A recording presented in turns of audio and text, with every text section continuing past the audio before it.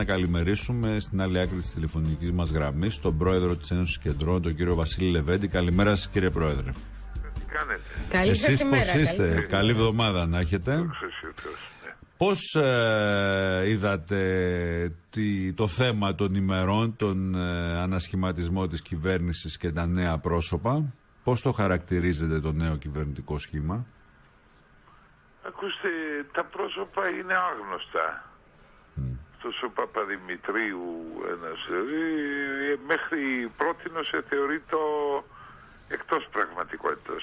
Ε, μιλούσε για παράλληλο νόμισμα. Ναι. Έσπευσε το λίγο οποίο- να το λιάνει αυτό Ναι, την το όλη οποίο ιστορία. Ήταν, να το λιάνει, αλλά δεν ξέρω αν λιένεται αυτό. Αν λιένεται, γιατί και ο Βαρουφάκης ε, έλεγε στο Sky, στο Μάλι διάφορα πράγματα, τα οποία συγχωρούσαμε. Και στο τέλος είδατε τι που μας οδήγησε. Εσάς σας Όταν- ανησυχεί, όταν, δηλαδή; Όταν δεν πιστεύεις στο ευρώ και καταφεύγεις σε λύσεις ε, δευτερεύουσες, δεν κάνεις, όχι για υπουργός, δεν κάνεις για τίποτε ε, το επίσημο και σοβαρό κατά τη γνώμη μου. Σας ανησυχεί αυτό; Γιατί θα, μπορέ- να- θα μπορούσε να πει κάποιος ότι αυτά τα έλεγε από άλλη θέση ως πρόεδρος του Ινστιτούτου Λεβί. Ναι. Τώρα ως υπουργός Οικονομίας θα έχει άλλα καθήκοντα. Θεωρείτε εσείς Ναι. ότι δεν μπορεί, ότι είναι... Μα ένας άνθρωπος που θεωρεί ότι υπήρχε η λύση να έχουμε ευρώ προς τα έξω και δραχμή προς τα μέσα, αυτός ο άνθρωπος ε, μπορεί να σηκώσει το βάρος των μεταρρυθμίσεων. Από όποια σκοπιά και αν το έλεγε. Ακούτε; Ναι, βέβαια, βεβαίως, κύριε Λεβέντη. βεβαίως. Από όποια σκοπιά και αν μίλαγε. Και εκτός από τον κύριο Παπαδημητρίου, για τα, για τα άλλα πρόσωπα... Για τα άλλα πρόσωπα πάλι έφυγε ο Κατρούγκαλος από το Υπουργείο και άφησε τρόποτινά την υπάλληλό του. Ε, α, τρόπο- α, την, ε, την Διευθύντρια επόμενη- του γραφείου του. Ναι, αυτό είναι σοβαρό.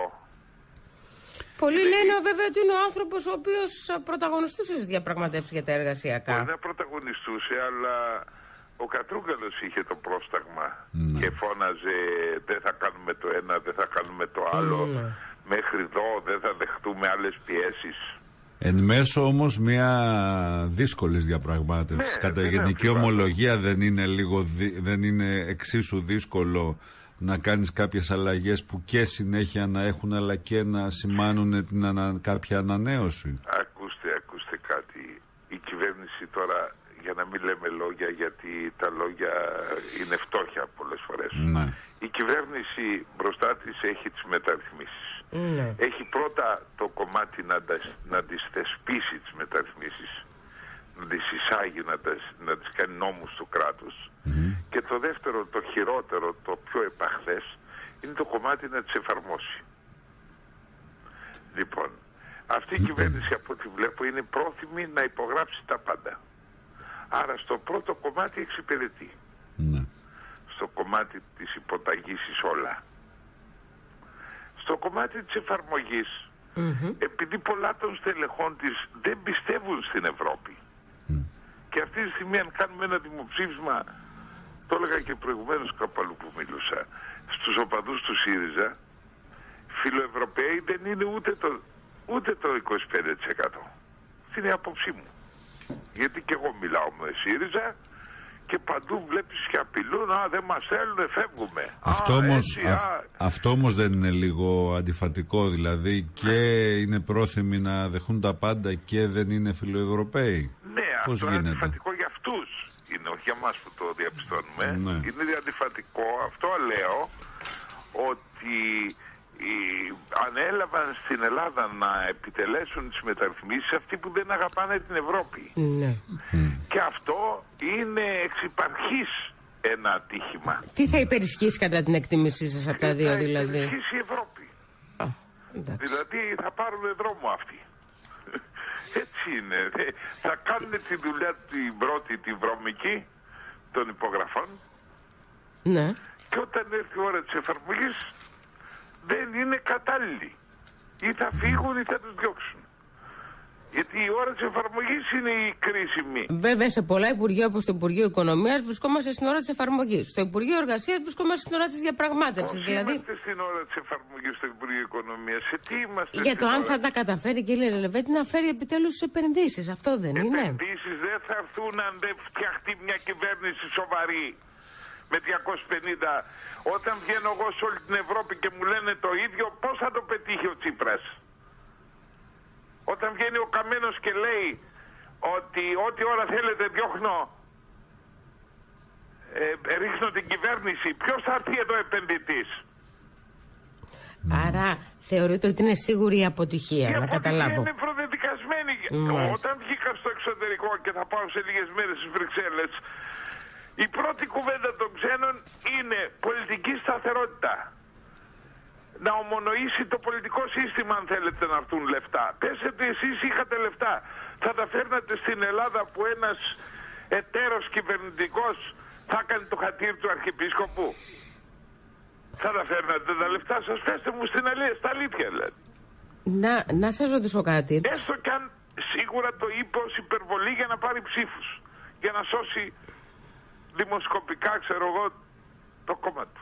Ναι. ναι. Να σας ρωτήσω κάτι. Εκτός όμως από μια κυβέρνηση διευρυμένης πλειοψηφίας, ναι. πάνω από 200 ψήφους, εσείς το λέτε. Δεν κανένας επενδυτής; Δεν σας ξενίζει ότι 7 χρόνια δεν έρχεται καρφίτσα; Ναι, απ' την άλλη όμως, για να ναι. συνεχίσω τη σκέψη σας, ε, εκτός από εσάς, Κανείς άλλος όμως δεν μιλάει για διευρυμένη πλειοψηφία. Ναι, Όλοι οι άλλοι. Το πολιτικό σύστημα στην Ελλάδα το ελέγχουν δύο άνθρωποι, ο Τσίπρας και ο Μητσοτάκης που είναι μοιραίοι. Θα καταστρέψουν τη χώρα αυτοί οι δύο. Άρα μοιραία ακούγεται το αίτημα για εκλογές, δηλαδή θεωρείτε ότι είναι αναπόφευκτο να πάμε σε άλλε. Οι εκλογές πάλι έτσι που mm-hmm. τα έκανε γεννηματά και ψήφισε ενισχυμένη θα οδηγήσουν πάλι σε μια κυβέρνηση με 153 που θα είναι πλέον ο Μητσοτάκης και η γεννηματά. Και ποιο το όφελος, πάλι δεν θα έρχεται κανείς. Πάλι δεν θα έρχεται ε, ε, ψυχή εδώ θα είναι κρανίου χώρα. Άρα σας ακούω πάρα πολύ απεσιόδοξο. Δεν είμαι απεσιόδοξος. Δεν αγαπάνε την Ελλάδα οι δύο αυτοί άνθρωποι, ο Μητσοτάκης και ο Τσίπρας. γιατί στοιχειοδός αν την αγαπούσαν θα έθεταν τα κομματικά τους σε δεύτερη μοίρα και θα συνέβαλαν στη δημιουργία μιας σοβαρής κυβέρνησης που θα ήταν η ίστατη πλέον προσπάθεια να παραμείνουμε στο ευρώ. Ο οδικό χάρτης, στον οποίο χθες αναφέρθηκε ο Πρωθυπουργός, δηλαδή στο επόμενο Eurogroup 5 ε, Δεκεμβρίου, αν δεν κάνω λάθος, να ναι. έχουμε κλείσει τη δεύτερη αξιολόγηση. Ναι. Να πάρουμε κάτι για το χρέος. Και αμέσως μετά το πρώτο τρίμηνο του 2017. Δεν θα πάρουμε τίποτα, μαντάμ. Δεν θα πάρουμε τίποτα, σας το λέω εγώ. Τώρα ο Πρωθυπουργός τι ονειρεύεται. Είναι άλλη ιστορία. Άρα θεωρείτε ότι θα πέσει έξω αυτό σαν, ε, σαν σχεδιασμό της κυβέρνησης. Τι να πάρουμε για το χρέος; Το χρέος έχει πάει στα κράτη. Για να δώσουν τα κράτη έστω και ένα ευρώ πρέπει να συνέλθουν τα κοινοβούλια. Δεν μπορεί ο Πρωθυπουργός να αγνοεί αυτά τα πράγματα. Θα έχει πρόβλημα ο Πρωθυπουργός αν δεν πάρει μέχρι το τέλος του χρόνου κάτι για το χρέος κατά την εκτίμησή σας. Θα μια διαβεβαίωση ότι το 2018 και εφόσον έχετε ολοκληρώσει τα πάντα θα το εξετάσουμε για να βγει τις αγορές. Ναι. Αυτό θα πάρει. Ε, κάτι είναι και αυτό. αυτό Όχι ότι είμαστε ικανοποιημένοι. Αυτό θα το πάρει. Κάτι λέω, δεν Εντάξει, είπα ότι αν είναι το. Αν κάνει αυτό, αυτό εννοεί ο Πρωθυπουργός αυτά που λέει. Θα το δούμε, κύριε Λεβέντη. Η δεύτερη αξιολόγηση θεωρείτε ότι θα κλείσει σε λιγότερο από ένα μήνα. Εκτιμάτε ότι μπορεί. Γίνει, όταν υπογράφεις τα πάντα, μπορεί να γίνει. Η δεύτερη αξιολόγηση είναι θέμα ε, θέμα υπογραφών. Δεν είναι θέμα εφαρμογής. Το λέω επειδή έχει όμως και μερικά θέματα τα οποία είναι ταμπού για το ΣΥΡΙΖΑ, δύσκολα θέματα, τα εργασιακά. Τα υπογράφουν τώρα δεν έχουν οι, οι, τα, οι κοινοβουλευτικές ομάδες ε, ΣΥΡΙΖΑ και ΑΝΕΛ. Έχουν άλλη λύση. Θα πέσουν την, την πρώτη φορά που δεν θα υπογράψουν κάτι. Να σας ρωτήσω για κάτι τελευταίο. Η παραμονή τους στην εξουσία τους κρατάει και τους ενώνει. Τώρα αστείευεστε, θα τα υπογράψουν όλα. Εκεί δεν έχω καμία ανησυχία. Θα γίνει η αξιολόγηση. Να σας ρωτήσουμε και κάτι τελευταίο. Ναι. Ήταν σήμερα να γίνει διάσκεψη των Προέδρων, δεν θα γίνει τελικά. Μάλιστα. Θα γίνει την Πέμπτη. Για πείτε μας την εκτίμησή σας. Θεωρείτε ότι θα βγει λευκός καπνός από την επόμενη Για διάσκεψη. Για να βγει λευκός καπνός πρέπει ο Τσίπρας να πάρει πρωτοβουλία και να υποχωρήσει. Ε, δεν έχει στο θέμα αυτό τουλάχιστον οι αρμοδιότητες να επιστρέψουν στο ΕΣΟΡΟΥ και τα λοιπά. Ακούστε, ακούστε κάτι Παρακαλώ.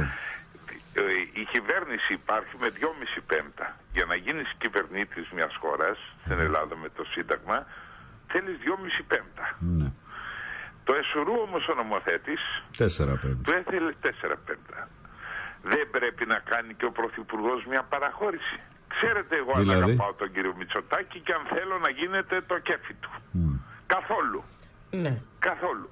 Όμως και μια φορά αν υποχωρήσει ο Πρωθυπουργός και βάλει τον άνθρωπο που υποδεικνύει η Νέα Δημοκρατία και πάρει τον νόμο Παπά πίσω και πάνε όλες οι αρμοδιότητες στο Σουρού με εντολή να αρχίσει αμέσως την αντιοδότηση.